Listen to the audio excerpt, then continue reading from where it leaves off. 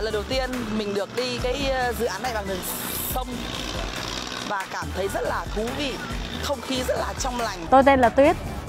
Hiện tại tôi đang sống ở Trảng Dài Biên Hòa. Thấy bên này cái cách quy hoạch á nó có nhiều cây xanh, không gian sống tốt, gần sông. Nói chung mọi cái đều thấy thích. Cũng nghĩ là là để tương lai có một cái môi trường sống tốt cho con nó ở, vừa đi học những cái dịch vụ sống, uh, dụ trường học hoặc là cái khuôn viên sống, khu vực sống, mọi cái tiện ích xung quanh.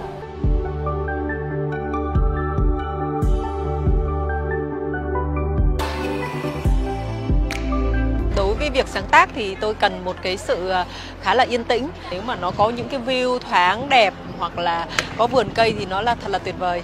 Um, tôi có dịp uh, cũng được uh, tham quan Aqua City và cái điều đầu tiên mà khi bước lên cái cái cái, cái bờ từ bờ sông á bước lên uh, trên cái cái cái khu biệt thự của Aqua City thì tôi rất là uh, ngạc nhiên. Cái cảm nhận đầu tiên thì là không gian là thoáng mát rồi cây xanh nhiều rồi đường xá là rất là thông thoáng.